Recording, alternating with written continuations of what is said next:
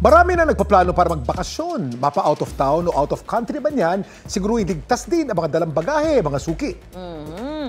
Nitong nakaraang linggo, ang daming online post na nagbaba, nagbabalik umano ang ta- tanimbala modo sa airport. Isa kasing mag-asawa ang nakitaan ng isang plastic ng bala sa kanilang bagahe. Totoo man yan o hindi, dapat tayong mag-ingat kung babiyahe, lalo na't marami na naman ang uuwi sa kanilang probinsya sa Semana Santa. Ngayong gabi, makakasama natin ang Chief Security and Safety Expert na si Marco Mondehar. Ah, Chief Marco, magandang magandang gabi po at Ay, welcome po sa po. Dapat Alam Mo. Magandang, Magandang gabi, gabi po. po. Sir, so ito, tanimbala modo sa shi- uh, Chief. Paano ba na nakakapambiktima yung mga ganyan sa mga kapuso natin na maglalakbay, magbibiyahe? Yan po. Ah, Paano na kakalusot yung tanimbala? Opo. Bakit, uh, di ba? Tama po. Alam niyo po, nakakalungkot isipin po na sa panahon na gusto mo sana magpahinga at Mm. dadalhin mo ang iyong pamilya, ang nagiging dahilan dito para ikaw ay ma-stress no dahil sa mga ganitong Pangyayari. mga pangyayari ng tanimbala o laglagbala. Oo, oo. Mm-hmm. No, kaya naman po may mga tips po tayo na nais pong ibahagi upang patuloy na magbigay ng ah, yun, ano, magbigay mag-create ng awareness no, Oo, para po oo. sa pag-iingat ng ah, pagta-travel na ginagawa po natin. Oo. Ano po yung mga tips na yan?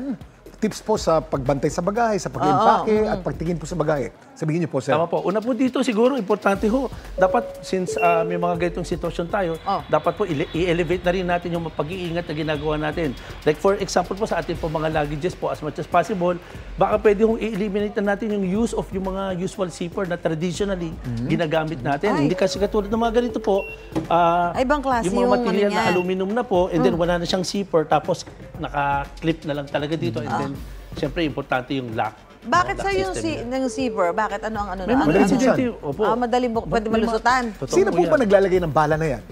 Ah, actually, ah, mahirap po i-pinpoint exactly no, kung sino itong mga taong ito. Pero Sino bang may access seems bagahe?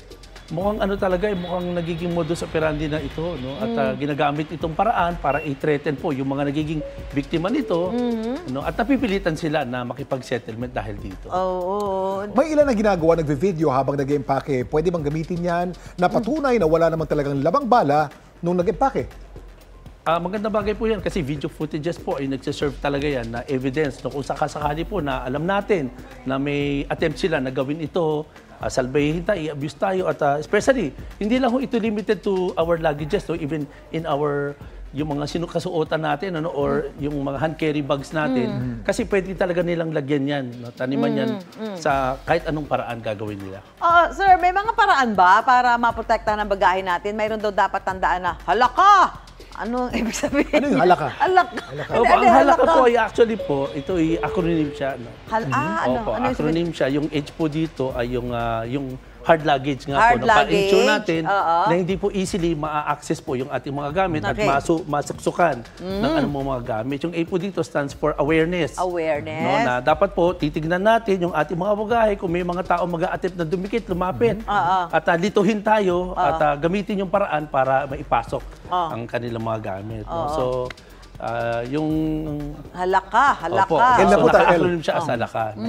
So, meron po dyan yung, siyempre, importante rin ho, yung pag-avoid natin doon sa mga taong nag-feel, ano sila, no? Yung nakiki, nakiki-feeling close. Mamaya, Ah. hindi mo na, alam May na masamang intensyon. may masama pala siyang plano para sa iyo sa iyong mga gamit. Saka syempre, di ba, huwag mong hiwala yung bagahe mo sa'yo, di ba? Oo. Mm, tignan mo mabuti talaga na... Minsan sa x-ray. eh. Kasi kung ikaw naman ay confident talaga wala kang lagay dyan, pa- titigan mo mabuti, di ba? Maraming salamat, Security and Safety Expert Marco Mondehar, sa pagbahagi ng iyong tips para ligtas at syempre walang hassle ang pagbabakasyon.